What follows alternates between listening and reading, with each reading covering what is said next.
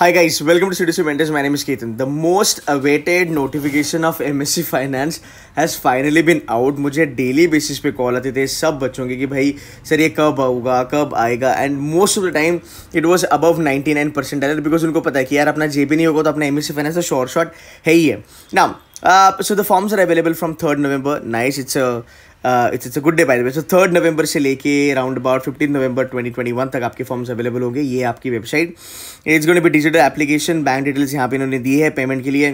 Payment कर देना यहाँ पे if you are interested to get in here ये नंबर है इनके क्वेरी के लिए इन्होंने नंबर दिया है। That's that's that's good because definitely I think ये अब नंबर आपको कभी ना कभी तो यूज़ करना पड़ेगा I am very sure and these are the uh, uh, the hours that you can call them. Now let's let's understand the basic stuff you know and कि सर मैं अप्लाई करूँ या ना करूँ राइट अगर मैं पहले बात करूँ फाइनेंस एज अ डोमेन के बारे में राइट तो यार पहली बात तो आपको मिलता है जेबी का ब्रांड अब बहुत सारे बच्चे हैं जो कहेंगे कि सर मेरे पास दो तीन ऑप्शन है। मेरे पास ये ऑप्शन है कि यार मैं एकदम एक तो मैं सिडनम के लिए चलूँ, या फिर मैं J B plus M S C के लिए चलूँ. So I will always say that you know this option is much better than anything else why because definitely Sydenham is a great B school no doubt about it but Jamnalal Bajaj का जो brand है वो आपको बहुत ज़्यादा help करेगा and at the end of the day जब आप actually you know when you are coming out of the B school let's say दो साल के बाद जब आपका एम एस सी कंप्लीट होगा and when you have round about one one and half और टू ईयर्स का वर्क एक्स ये मैटर नहीं करता कि आपने एम एस सी करा है जे बी से या आपने एम एम एस करा है what matters is Jamnalal Bajaj as a brand itself so ये आपका बहुत बेटर ऑप्शन है ऑन दी अदर हैंड अगर आप देखोगे पूरी की पूरी इकोनॉमी के बारे में अगर आप देखोगे, यार economy is growing and the next couple of years is going be really really boom right तो अगर आप देखोगे finance as a domain now everybody is interested in finance guys you will not believe जो मतलब जो बच्चे हैं, जो कॉलेज में हैं, आज वो उन्होंने भी ट्रेडिंग करना चालू कर दिया है by using their mobile set तो मैं ऑलवेज कहता हूँ, अगर आप मुझे पिछले एक दो साल से अगर आप मुझे फॉलो कर रहे हो, मैं ऑलवेज कहता हूँ finance is the big thing it's it's it's huge thing जितना उसको फाइनेंस में है वो किसी भी स्पेशलाइजेशन में नहीं है, ना वो मार्केटिंग में है, ना वो ऑपरेशंस में है, ना ही वो एच में finance is huge it is just that finance में आपका जो टेक्निकल नॉलेज है ना, अगर वो आपका सही रहा तो बेटा आपकी लाइफ है बिकॉज़ जरा ह्यूमन इज़ अपॉर्चुनिटी तो अगर आप देखो आप फाइनेंस में जा रहे हो ऑन दी अदर हैंड अगर आप देखोगे जो प्रोग्राम आप चल रहे हो एमएससी ये कंसेप्ट एक्चुअली इंडिया में थोड़ा सा नया है। ये वेस्टर्नाइज का कंसेप्ट है and it's a pretty cool concept अगर मैं बात करूँ इसके सिलेबस के बारे में या फिर एंटायर करिकुलर के बारे में as far as M S C finance is concern the curricular is awesome मेरे कुछ बच्चे हैं यहाँ पे, मुझे फीडबैक बहुत सही आता है। और अगर हम जेबी के बारे में बात करें एमएमएस का average package is round about बाईस से तेईस लाख। बट ठीक है, तुमको M S C should be able to give round about पंद्रह से सोलह लाख का एवरेज यहाँ पे मिल सकता है। But at the end of the day what matters is Jamnalal Bajaj as a brand now on the other hand अगर मैं जेबी के बारे में बात करूँ JB has been known for finance it's a mecca of finance as far as Maharashtra is concern so ये western side वाला जो रीजन है अपना इंडिया का, वहाँ पे जेबी का बहुत ज़्यादा नाम है as far as finance is concern plus it has an alumni base which is mostly in the finance domain तो बाई डिफ़ॉल्ट आपको ये ऑप्शन बहुत सही काम करता है आपके लिए. So this is what in to understand so overall अगर हम बात करें M S C finance is a really really good bet अगर मैं कंपेरिजन करूँ थोड़ा बहुत राइट right? आपको देखना पड़ेगा आप कहाँ स्टैंड करते हो बट वो एक दूसरा पीडीएफ है यहाँ पे, उसके बारे में बात करूँगा। So let's let's let's get done with this and understand ये अपना अनदर पी डी एफ़ यहाँ पर इन लोगों ने ना पूरी की पूरी डिटेल इन्फॉर्मेशन दी है। अब भाई सबसे पहले बात करते हैं तुम्हारे कट ऑफ़ के बारे में। अब कट ऑफ़ जानना बहुत ज़रूरी है। What is the cut off अगर कट ऑफ़ देखेंगे कट ऑफ़ थोड़े से on a slightly higher note पे जा रहे हैं बट कोई बात नहीं। देखो, पहले कैट के बारे में बात करूँगा।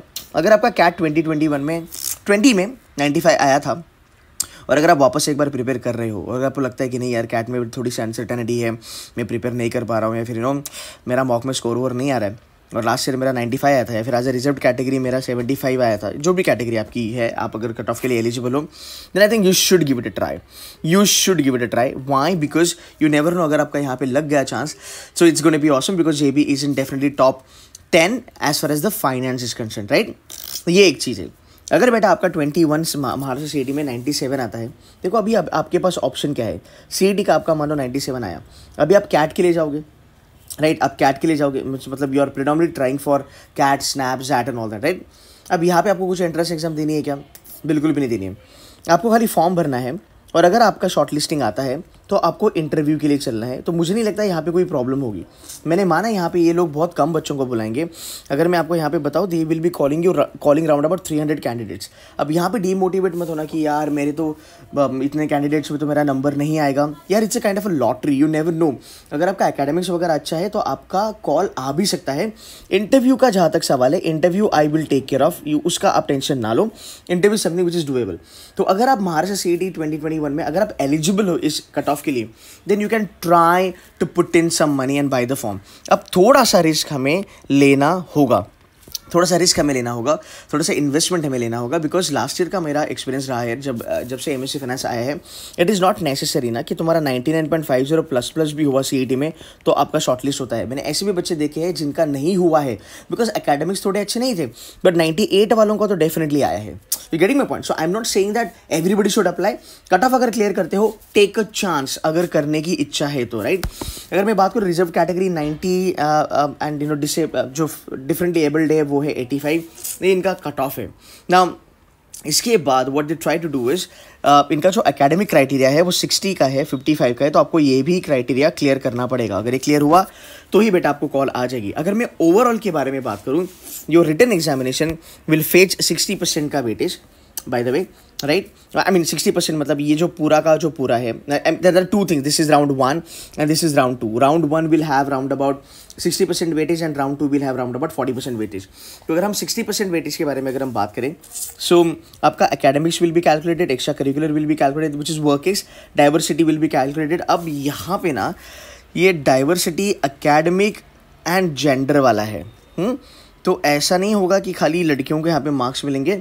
फाइव ऑन फाइव मेरे ख्याल से ये अकेड प्लस जेंडर करेगा तो ये पाँच वहाँ से इंक्लूडेड होंगे। इसका बाइफर्केशन देना थोड़ा इंपॉर्टेंट था इन लोगों के लिए। तो ठीक है this hundred will drop down to round about sixty and अगर हम बात करेंगे पर्सनल uh, इंटरव्यू के बारे में which is in person assessment तो अगर आप देखो आपका जी डी जनरल अवेयरनेस मेरे ख्याल से P I and this is VAT written ability test होगा। ये बहुत मैटर करेगा।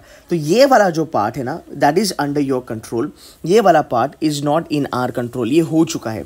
अगर आपको लगता है कि यू नो यहाँ पे आप बहुत अच्छे हो मे बी और ट्रिपल नाइन और मे बी और you know triple eight and if got let say ninety eight percent L in C A D you should be gunning for it हाँ you should be gunning for it as far as the interview process is concern I am anyway launching मुझे बहुत सारे बच्चों ने कहा कि sir programme launch कर दो। मैंने कहा, यार, रुक जाओ नोटिफिकेशन पहले आने दो। So I am launching my M S C finance का प्रोग्राम जहाँ पे we will be helping you for interview preparation यहाँ पे हम आपको बेसिक फाइनेंस वगैरह पढ़ाएँगे आपका P I Y finance Y G B M S Y M S C सब कुछ करेंगे. So this programme is available for you we start from post Diwali but या enrolments are starting from today so if you wish to enrol for this programme you can definitely अगर हम इसका cat percentage wise अगर देखेंगे तो यार it's um, अगर हम हम बात करेंगे यहाँ पे रिजर्वेशंस भी है. हाँ थोड़ा सा रिजर्वेशन का भी यहाँ पे देख लेना। So that that is something will help you a lot but this is open for everybody across the country I would say again on a closing note guys it's a good option that you can go for अभी कोई entrance exam नहीं देनी है। सी e का ही score ये ले रहे हैं और लास्ट ईयर के कैट का स्कोर ले रहे हैं। M S C is worth the try see I don't know whether I mean how many people should be applying but मुझे बस इतना पता है कि यार, अगर मेरे मन में है ना कि नहीं मुझे करना है, मुझे फाइनेंस में गॉड लेवल कॉलेज में चलना है डजेंट रियली मैटर तीन सौ बच्चे बुलाते हैं कि हंड्रेड बच्चे बुलाते हैं, मेरा एक सीट मेरे को चाहिए तो I am bloody gonna apply what is there at a stake at a stake क्या है? पंद्रह सौ रुपये स्टेक पे है. ठीक है यार, आप डिसाइड करो how does it mean to you पंद्रह सौ? If you can if you can afford it definitely जाओ इन्वेस्टमेंट करो. अगर आपको लगता है कि सर मेरा एकेडमिक्स भी बेकार है, मेरा नाइन्टी सेवन ही आया है, मेरे चांसेस बहुत कम है फिर आप अप्लाई मत करो। फिर आप अप्लाई मत करो। बट हाँ जहाँ तक if I were you I will definitely apply because अगर मुझे डेफिनेटली इतनी इच्छा है ना because I am a finance free you guys know that you know मेरा पूरा करियर फाइनेंस में हो चुका है। I am double M B in finance तो अगर आप, अगर अब मेरी जैसा वो किसी का पैशन होगा तो डेफिनेटली अप्लाई करना चाहिए कि नहीं यार मैं कर दूँगा। फाइनेंस के लिए मैं कर दूँगा because finance is love so guys take a call take a calculative call and this is something you can go for by the way M का अगर आप देखोगे थोड़ा सा रिपोर्ट के बारे में अगर मैं बात करूँ, इसका करिकुलम बहुत सेक्सी है। अंदर का जो जो पढ़ाने का जो अकेडमिक्स है वो बहुत सेक्सी है। इसकी जो प्लेसमेंट्स है प्लेसमेंट्स भी आप अच्छे खासे से बोल सकते हो कि मेरी प्लेसमेंट्स अच्छे हैं। बढ़िया डेफिनेटली अगर मुझे M S C finance compare करना है मैं बेबी आई एम से इसको थोड़ा सा ऊपर रखूँगा.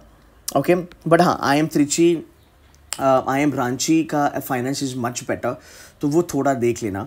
एंड uh, बाकी के जो भी कॉलेजेस है लाइक के जी सोमया हो गया या फिर वेलिंकर हो गया या फिर तुम्हारा आई एम आई दिल्ली वगैरह हो गया गोवा इंस्टीट्यूट ऑफ़ मैनेजमेंट वगैरह हो गया। तो अगर आपको लगता है कि यार उस कॉलेज में शायद से मैं जाऊँगा तो मेरे ख्याल से M S C finance is the best option again अगर मैं प्रोफ़ाइल के बारे में बात करूँ which are the finance profile भाई यहाँ पे इक्विटी रिसर्च एनालिस्ट बैंक्स के jobs relationship manager financial sales भी आता है. Uh, तुम्हारा रिसर्च एंड एनालिटिक्स भी आता है फाइनेंस का right so variety of profiles are been given to the kids ऐसे नहीं कि खाली सेल्स आते हैं अच्छी खासी प्रोफाइल्स भी यहाँ पे मिल जाती है. डिपेंडिंग ऑन आपका परफॉर्मेंस कैसा है once you are in J का एम एस सी फाइनेंस का क्लास राइट परफॉर्म करोगे तो लाइफ सॉर्टेड है. So guys that that's it from my side if you need more videos on MSc Finance, kindly let me know. I shall make them for you guys, right? And if you're new to my channel, there will be a lot of things happening around CET also. So I'll be making a lot of videos on CET and MSc Finance. So kindly subscribe to my channel and stay tuned to Seduce Mentors. That's it from my side, guys, and wish you a very happy Diwali. Take care of yourself. Bye bye.